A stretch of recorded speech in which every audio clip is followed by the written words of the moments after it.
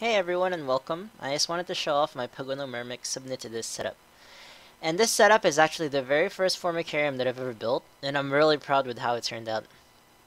So as you can see, the nest is basically a plaster of Paris setup with two chambers carved out of it, and the very top cover is basically just a plastic petri dish.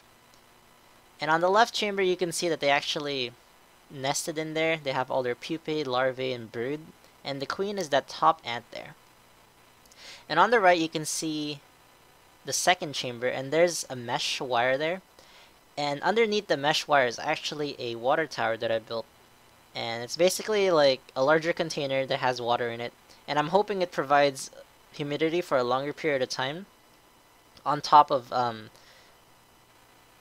hydrating the nest with a syringe and needle. And on the right, you can see that I placed some seeds and a few drops of sugar water. And if we watch the seed on the floor there, there, you can see that the one of the workers actually grabbed it and took it in.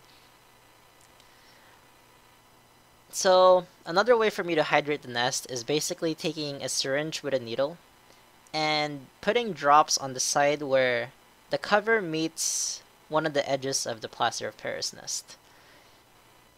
So what happens is when the water touches the edge, capillary action will actually take the water from the side and then bring it up to the very top of the container underneath the cover and actually spread it across the surface between the lid and the plaster of Paris.